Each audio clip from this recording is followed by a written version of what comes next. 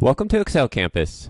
My name is Jon, and in this video, I'm going to explain how to find the last used cell in a worksheet with VBA. So there's a few different methods for doing this, and a lot. It mostly depends on what your data looks like.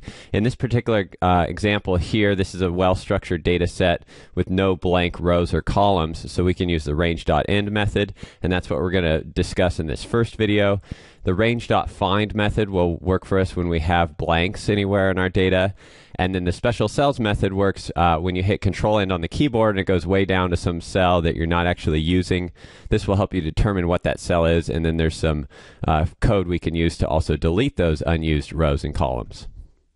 So let's go ahead and get started with the range.end method.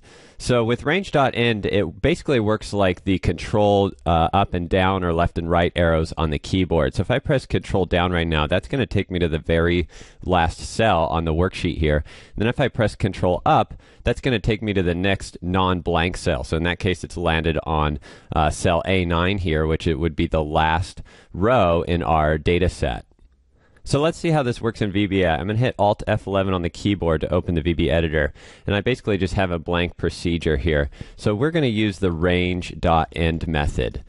So range.end just has one argument here for the direction, and we basically have these different options where we could specify which direction we want the end method to search in or to move in to find that last non-blank cell. So for this case, we're going to use XL up. Basically, we want to start at the very bottom of the worksheet, the last row in the worksheet, and go up till we find the first non-blank cell, and that's how we'll find the basically the last non-blank row using the end method. So now for the range property, we need to specify that last cell in the worksheet. So we can do that. There's a few ways to do that, but we can basically just say we want column A, and then the uh, rows dot count will return all of all the rows in the worksheet, or the total number of rows in the worksheet. And we can evaluate this in the immediate window so I can show you exactly what I mean by this. So rows.count, if I hit enter there, is going to return this large number over 1 million, and that's basically the last row or the total number of rows in the worksheet. So if I hit control down arrow here, you'll see that's the same number. That 1,048,000 is the same number if I jump back to VBA. Basically the same number here uh, for the count of rows in this particular worksheet. So now for this line of code, we just need to tell it what we want. In this case, we'll use the select method to select the cell. So now this line of code right here is basically going to do what we just did with the control up arrow. It's going to start at the very last cell and go up until it finds a non-blank cell. So I'm going to go ahead and run this. You hit F5 or the run button here, and you'll see over here that that's jumped up to the last non-blank cell in the worksheet. So in a case like this, when we have a nicely structured data set, this method is very easy to use because we could just go from the last row in the sheet all the way up to find the last used or the last non-blank cell.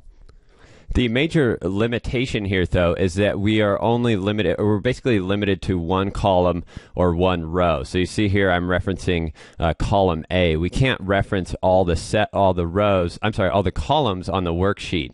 So, for example, if these two cells here uh, were blank, then that's going to select or return row 7 uh, when in fact the last used row here is row 9. So it's not going to work if you have some blanks in your uh, data set, and I'll explain that when we talk about the range.find method, but I just want to point that out, that that is one major drawback.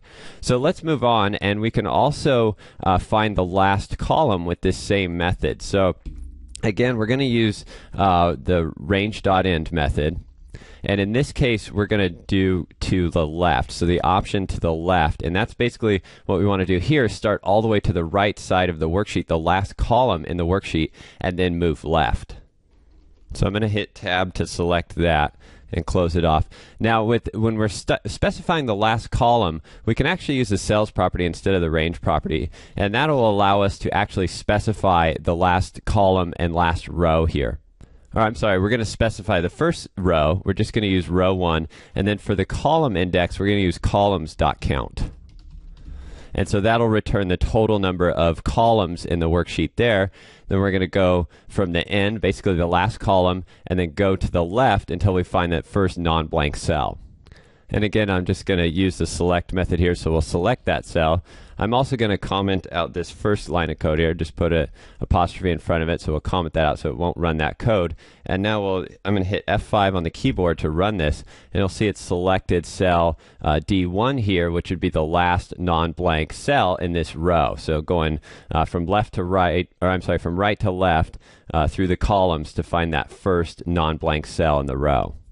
Well, I said first non-blank, but it's actually the last non-blank cell in the row there. So, so far we've just been selecting that cell, but we might actually want to return the row or column number. So I have an example here where that does this. And basically what I've done here is just declared this uh, long type variable. So L row and L column uh, just represent variables.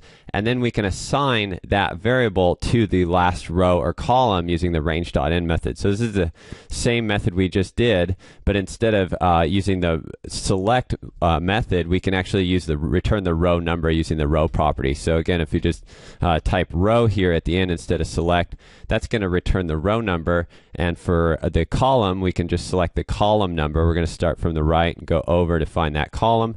And then this message box will just display a message box showing us the last row and column number. So if I run this now, to hit F5 on the keyboard to run this you'll see that our last row is 7 and our last column is D. And again, this is wrong because our last used col- or last used row is actually 9, but since we're only searching in uh, column 1 here, this finds uh, row 7 or this cell A7 as the last row. So again, this is why you might want to use the range.find method, and we're going to talk more about that in the next video. So I'll have this uh, workbook available for you to download so you can check out the code.